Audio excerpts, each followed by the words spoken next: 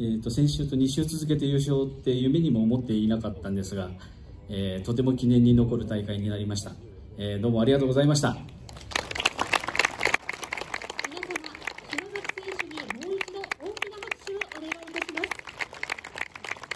ね、スタート前には何人かの方にあの連続かかってんのは私だけですって話をしましたけど意識すると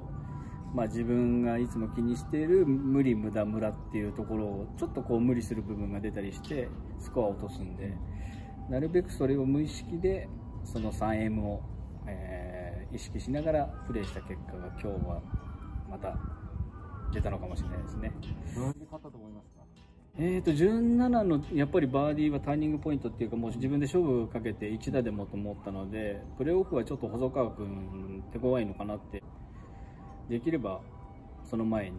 えー、少しでも有利に18番迎えてたいなっていう気持ちでやったので17番ですかね。まあイメージというか自分では初めてのその経験でしたからまあ追われる立場でプレーしながらただ自分からこう落ちるないようには心がけたっていうところだけでその辺ではうまくこう切り抜けられたのかなという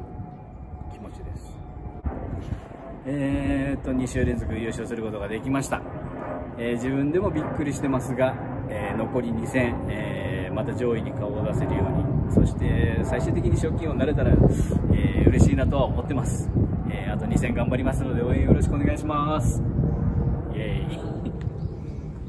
また V さん